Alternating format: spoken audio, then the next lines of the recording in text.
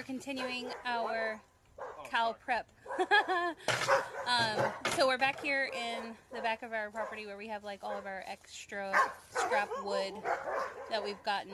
So we're just loading up the trailer on the Kubota so that we can move the round pen over to the pasture area where we're going to put the cows to begin with once they get delivered. So let me turn the camera around and show you. All right, so we're loading the trailer up. Dogs are being obnoxious. Onto the Kubota with a round pen there. We're gonna load those panels up, disconnect it, load it up onto the trailer and move it over there, just on the other side of the shipping container.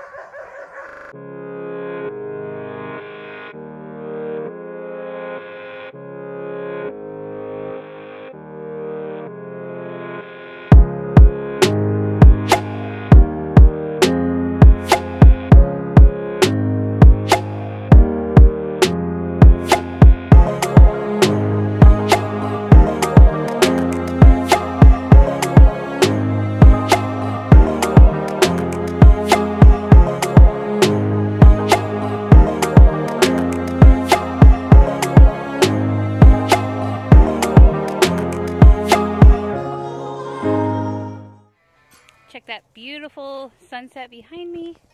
But I'm gonna turn and show you. We offloaded all of the panels and we have them set up here now in a big square. Um, and then over there is going to be our chute to put the cattle into the pasture once we're ready to do that. But for a few days, we're going to hold them in the round pen or square pen so that we can teach them the electric fence. So we're going to line the round pen with electric fence so that they can learn that they want to stay away from that. So that's the plan. We're getting it done.